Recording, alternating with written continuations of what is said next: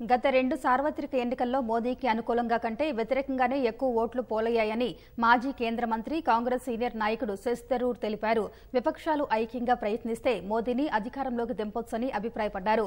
హైదరాబాద్ గీతం విశ్వవిద్యాలయం change makers కార్యక్రమంలో పాల్గొన్న ఆయన తన బాల్యం అభిరుచులు కుటుంబ నేపథ్యం వంటి అంశాలతో పాటు తనపై వచ్చిన ఆరోపణలు వివాదాల గురించి అడిగిన ప్రశ్నలకు సమాధానమిచ్చారు.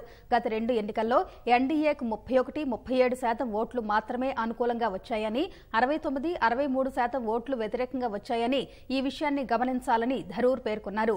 మోదీ హయాంలో నిరుద్యోగం గతంలో ఎప్పుడూ లేని స్థాయికి పెరిగిందని ఆర్థిక వ్యవస్థ పతనమైందని కరోనాను సైతం సమర్థవంతంగా ఎదుర్కోలేకపోయారని ఆరోపించారు. గతంలో మమతా బెనర్జీకి మద్దతు నిలవకుండా కాంగ్రెస్ తెలివి తక్కువ పనిచేసిందని శశి థరూర్ అన్నారు. అందుకే ఆమె కాంగ్రెస్ వ్యతిరేక వైఖరితో ఉన్నారని తెలిపారు.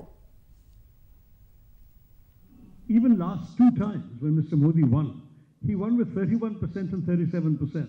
But what went wrong was that the remaining 63 and 69 were scattered amongst a large number of parties. And as a result, the opposition was unable to offer a coherent alternative picture.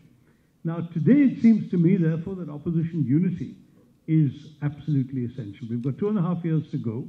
That gives us enough time to create a platform on which the parties of the opposition can come together, find common ground. You can't snap your fingers and create alliances. One has got to get into the habit of meeting and sharing space and moving forward. But I do believe that that would be very much the way forward.